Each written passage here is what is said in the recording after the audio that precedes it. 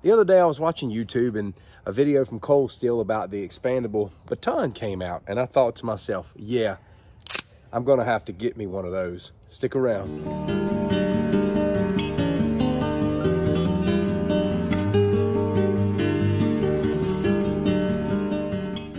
You gotta love Cold Steel because there's a lot of stuff in their product catalog that will deeply encourage others to keep their hands to themselves. But of course, you've got those out there who like to mess around and find out. And because these folks exist, you can always count on Cold Steel to provide something to help you fix that issue.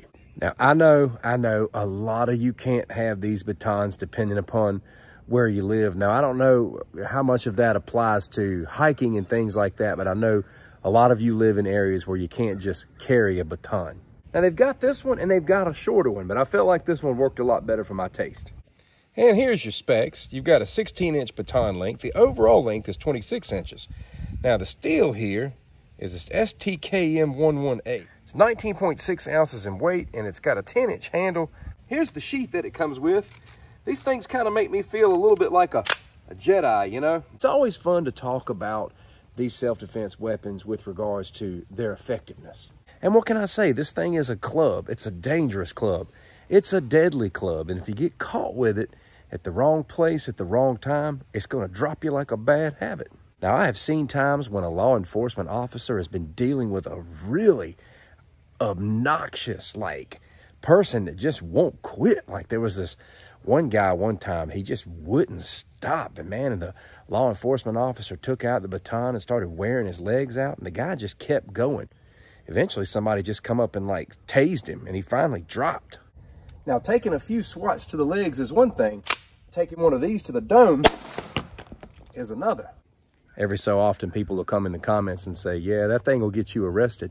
Well, yeah, that's true, because plenty of people who were innocent and defended themselves got arrested. One thing they didn't get was killed. We most definitely need to think about the legal side of things, and you do need to check your state laws. You need to use wisdom, discernment, situational awareness, and try to stay out of situations like this at all costs.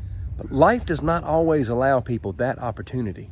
When an attacker comes to take your life or the lives of someone that you love, you need to first think about defending them before thinking about going to prison. Your kids can still come to visit you in prison. And if you saved their life, they're not going to be coming to see you in prison like you're some kind of loser. That's why deadly force is always a last resort because there are so many implications. Sometimes deadly force is needed and sometimes deadly force is not needed. It just depends on the situation. Now with a baton, you may or may not be successful. Just because you have a self-defense weapon doesn't mean you're going to be successful with it. I've seen people get bats, batons, and things like that taken away from them, used against them. Just because you have a weapon doesn't mean you're going to be successful in defending yourself. It does greatly increase your chances, and it is an equalizer. Something like this can break bones. It can break arms. It can break hands. Uh, it can break legs. Uh, it hits really hard. This is very heavy.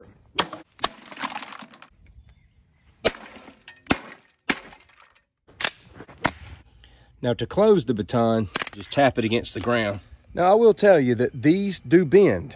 If you hit them hard enough against something that it doesn't destroy, the thing that it doesn't destroy will bend this baton. It's not indestructible.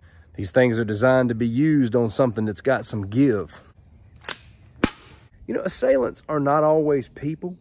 Sometimes an assailant could be a rabid animal. Sometimes an assailant could be you know, somebody's dog who's done gotten unhinged and he's ready to attack. It happens every day. I'm constantly reading about dog attack fatalities. But it hurts to get hit with something like this. Hurts bad. It breaks bones. And it's like being able to walk around with a stick, but a stick that's got some power and a stick that's very compact until you need it to be large. you can just hear the power in the swing.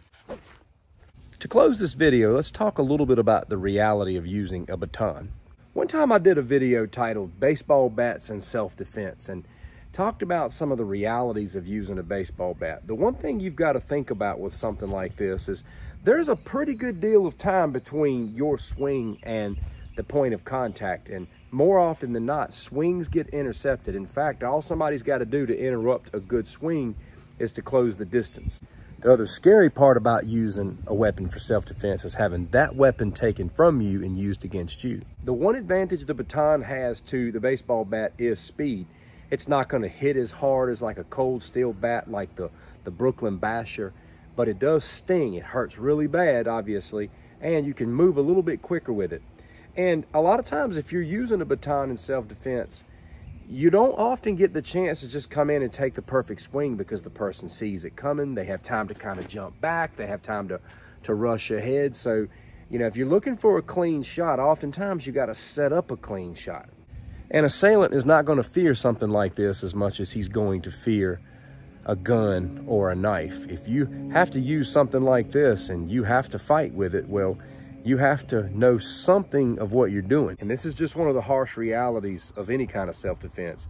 If you hit somebody with this, it may not hurt them. You may hit them on a part of their body that you don't get a lot of response and it's just gonna make them more angry and determined. One of the greatest attributes to have in self-defense is the element of surprise, speed, and accuracy. So here's what it all comes down to. Regardless of what you use for self-defense, You've got to train with it. You've got to find good resources for training, ways that you can develop your skill set depending upon what you plan on carrying every day. The cold steel baton is definitely a nifty little tool. It's got its advantages and disadvantages. It's dangerous, it's bone breaking, it's hard hitting, but you have to check your state regulations to see whether or not you can get one of these. Some states you can't even have a baton shipped to you. Um, I know here in my state, in Virginia, I'm, I'm able to carry a baton openly. I can't carry spring batons here in Virginia, but I've never even seen one of those anyway. And, you know, there's a time and a place for everything. For me, a baton like this would be something that I'd like to have on me just as another piece of protection, you know, out on the trail. I'm always in the woods. I'm always walking on trails and uh, I usually carry my firearm and I've always got a blade, but this is a nice companion to have as well. And I think the baton could be a good home defense weapon just to have around, especially if you can ambush and get a good clean shot from an unaware assailant. And uh, don't let up if you ever have to do that. Don't depend on one shot. You got to depend on many. You got to go until they quit. But it's just one of many options. And I hope you enjoyed this review. I'd love to hear from you in the comments. Do you have this baton? Have you ever carried a baton? Have you ever used a baton in self-defense? Do you know of anyone who's ever used one? I'd love to hear your story and your perspective. Thank you so much for watching and take care.